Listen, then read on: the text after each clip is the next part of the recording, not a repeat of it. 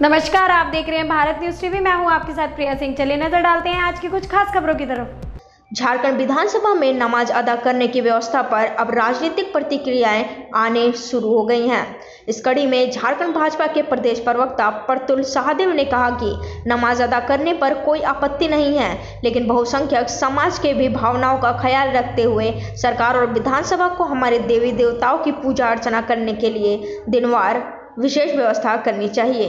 झारखंड विधानसभा में नमाज़ अदा करने के लिए विशेष व्यवस्था की गई है। हमें इस पर कोई आपत्ति नहीं है, लेकिन सरकार को बहुसंख्यक समाज के हितों का भी ख्याल रखना चाहिए, उनकी भावना का भी ख्याल रखना चाहिए और विशेष व्यवस्था करनी चाहिए। भाई सोमवार को हमारे आराध्य देव शिव मंगल को भगवान श्री हनुमान और बृहस्पतिवार को श्री विष्णु जी की पूजा अर्चना करने के लिए, शुक्रवार को माँ की पूजा अर्चना करने के लिए, शनिवार को शनि देव और रविवार को सूर्य भगवान की आराधना, पूजा अर्चना करने के लिए विशेष व्यवस्था करनी चाहिए।